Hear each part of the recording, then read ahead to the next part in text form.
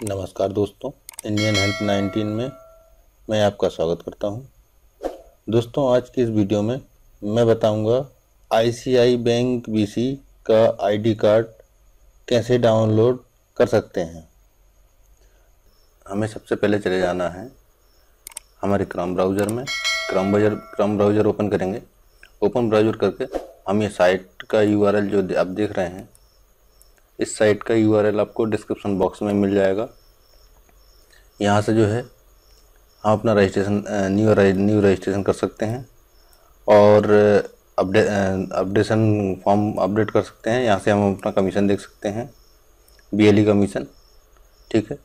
तो हमें सिंपली चले जाना है डाउनलोड पे, ठीक है ना? डाउनलोड पे जाएँगे।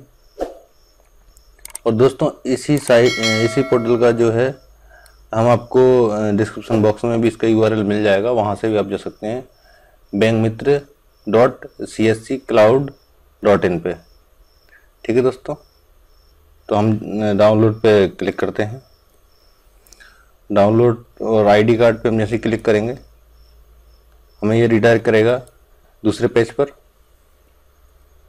तो यहाँ हम अपना हमारी जो सी एस सी आई डी है, वो डालेंगे। ठीक है दोस्तों? और यहाँ पे हमें अपना पेन का, पेन नंबर डालना होगी या पेन कार्ड नंबर है, और सिंपली हमें सबमिट करना होगी। तो चलिए हम अपना C S C I D और पेन नंबर डाल लेते हैं। हमने अपना आई डी का C S C I D और पेन नंबर यहाँ पे फिल कर लिए हैं।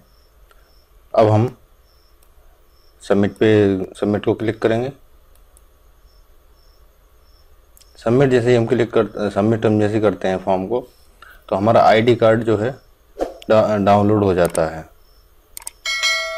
ठीक है दोस्तों, वीडियो पसंद आई हो तो लाइक करें, एंड शेयर करें, एंड सब्सक्राइब करें। Thank you for watching